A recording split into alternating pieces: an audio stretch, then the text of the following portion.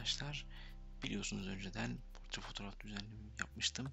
Şimdi de portre fotoğraf düzenlemi üzerinde bir üst kademeyi daha çıkarak daha da editoryal nasıl düzenleriz ona bakacağız.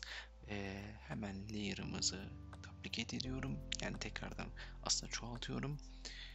Burada OK basıyorum ve şimdi uygulayacağım ilk işleme geliyorum.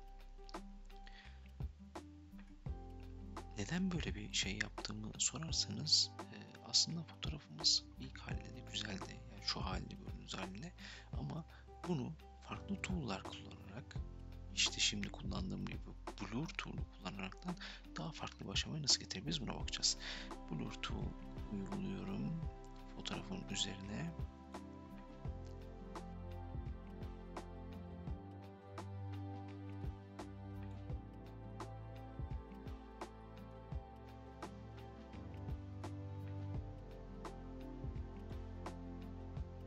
Şimdi ise tekrar bir layer oluşturacağım. Yine duplicate ediyorum.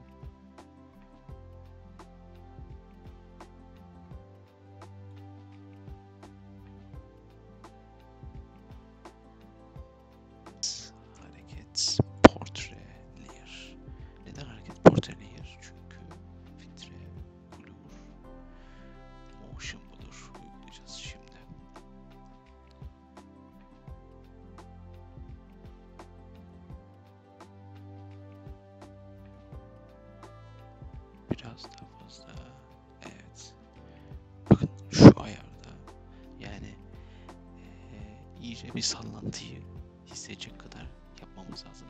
89 piksellik eee 0 derece açıyla olan bir motion blur filtresi uyguluyorum. Şimdi bu layer üzerinde sileceğim bazı noktalar var. Bu da gözler, burun ve ağız.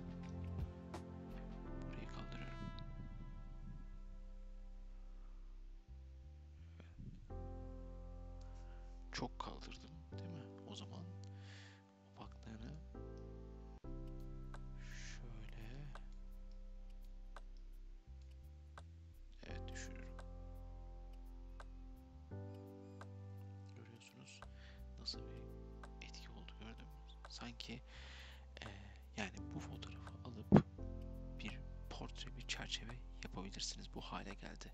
Evet normalde böyle fo- portre fotoğrafı istenmeyebilir ama benim burada amacım farklı farklı teknikler ile eee, bir fotoğraf üzerinde nasıl farklı aslında düzenlemeler yapabileceğinizi size göstermek. Şimdi de eee, fotoğrafın odak noktasını biraz da ortaya çekmek için eee, biraz da keskin ayarlar yapacağım. Şöyle yapalım. Buradaki layer'ların hepsini birleştirelim. Birleştirdik ve yeni bir layer oluşturalım. Şimdi burada biraz daha sertleştirmek için blending modlarım var biliyorsunuz. Blending modlarda eee, birçok parametreyi kullanabiliyorsunuz görüyorsunuz. Eee, normalden luminosite'ye kadar çok çok farklı etkisi olan ve çok farklı eee, parametrelerle çok değişik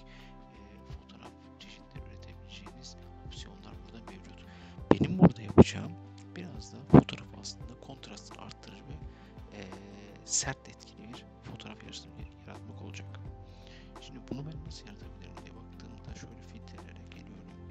İstediğim filtreyi bulmak için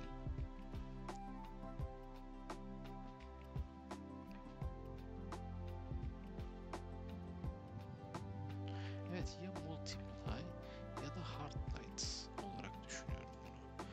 Ee, hard lights veya multiply olarak düşünüyorum. Hard light'ta tabii ne oluyor? Tüm fotoğrafta bir sert bir e, ışık etkisi oluyor ama multiply'da e, daha böyle koyu tonlara hakim bir etki görebiliyoruz. Ee, şuradan yola çıkabiliriz. Multiply yapıp bazı yerleri ekstra açabilirim. O yüzden multiply yapıyorum ve bir level uygulayacağım burada. Ama level'da uygularken yapacağım şey şu olacak. Bir clipping mask aslında uygulayacağım. Yani sadece mul- multiply ettiğim layer'da e, etki edecek. Şöyle bakalım. şu güzel. Evet. Evet. Şöyle bir etki. Şimdi daha yapacağım şey şu. Ben burada ne yaptım aslında? Levels'tan multiply ettiğim layer'ın bir üstündeki layer'da bir level filtresi uyguladım. Adjustment uyguladım. Ee, şimdi de bu levels üzerinde maskeleme yapıp e, istemediğim yerleri kaldıracağım. İstediğim yerleri de e, beyaz boyayarak açacağım. Öncelikle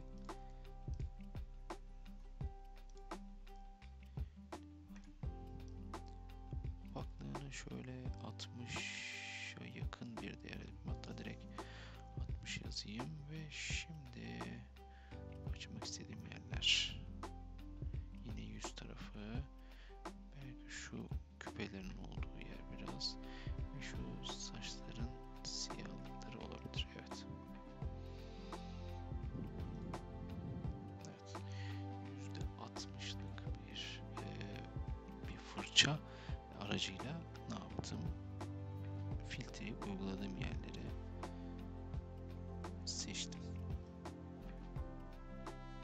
Evet yani şimdi fotoğrafımıza baktığımız zaman tabii nereden nereye geldiğimiz aslında burada önemli. Hemen ona da bakalım. Biz önce bir snapshot'ımızı şuradan alalım. Snapshot, creation snapshot derseniz aslında en son geldiğiniz aşamadan bir eee, ne yaparsınız bir kesit alırsınız. Şimdi bakıyoruz fotoğrafımıza. Fotoğrafımızın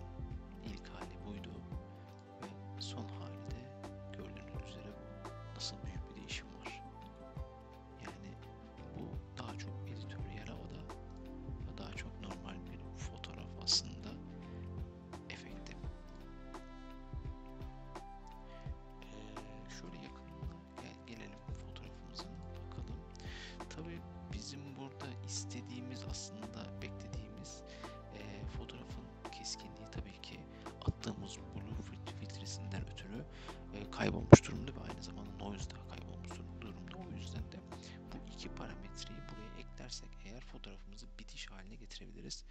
Yine şöyle yapalım. Buradaki tüm layer'larımızı birleştirelim. Tekrar bir layer açıyorum. Ve burada da ne yapıyorum?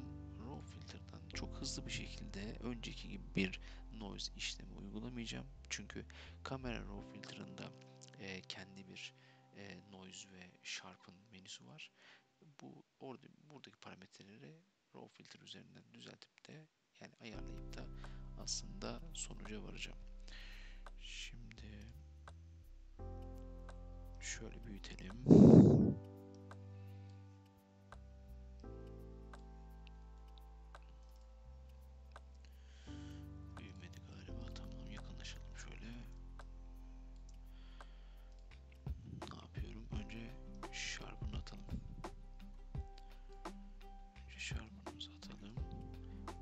Üzerine sharp'ını attığımız zaman eee, aslında şöyle bir etki yaratıyoruz. O eski magazinlerde çekilmiş analog fotoğrafların aslında biraz etkisi oluyor. Yani bu güzel bir tüy aslında bunu verebilirim. Fotoğrafa blur attınız. Attığınız blur üzerine sharpen yaparsanız eee, hafif bir böyle katmansı bir aslında sharpen atmış oluyorsunuz. Bu da farklı bir etki yaratıyor. Benim de şu anda yaptığım aslında öyle. Bir şöyle before after'ına bakalım.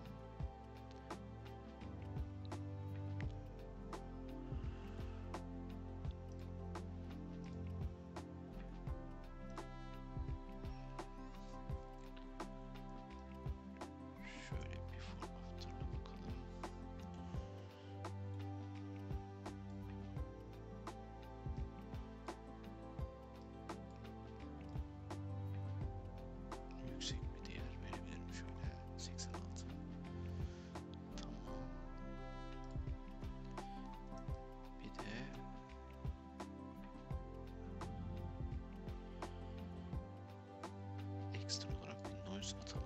Noise'umuzu bulalım. Evet, grain diye geçiyor.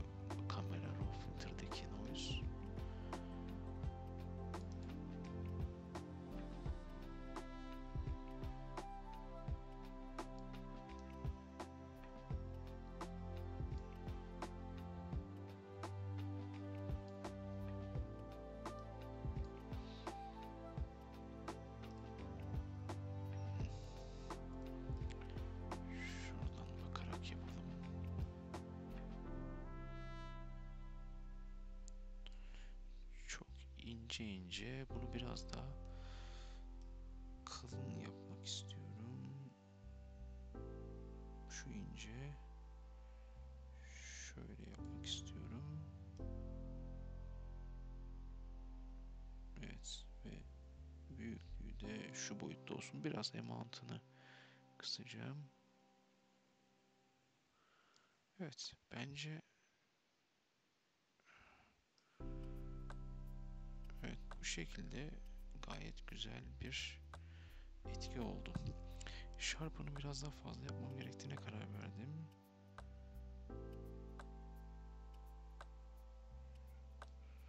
Tamam.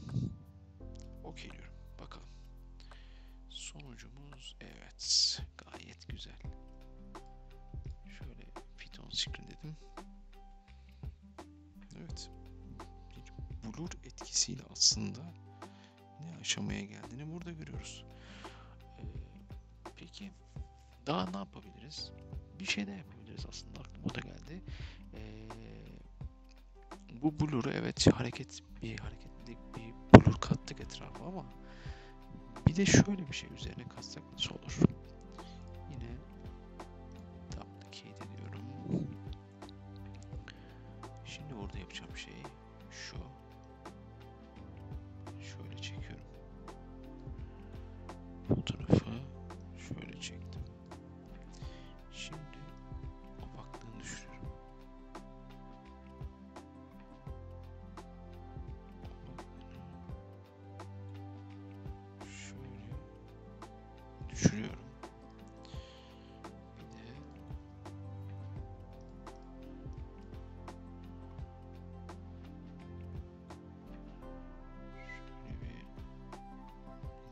Layer maskesinden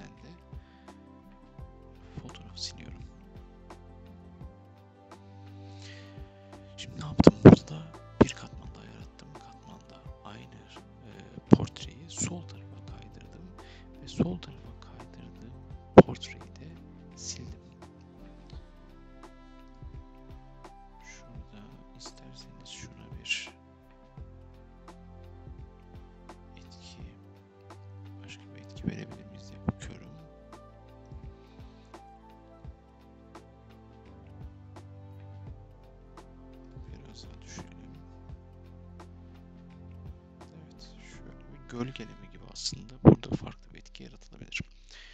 Ee, bunu kaldırıyorum.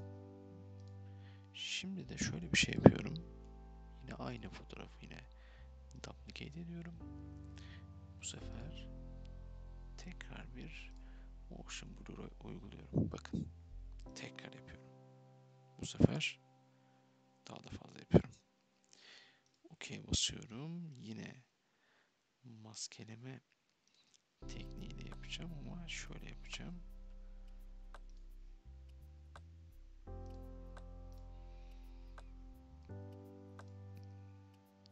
Şuralarda şuralarda yapacağım.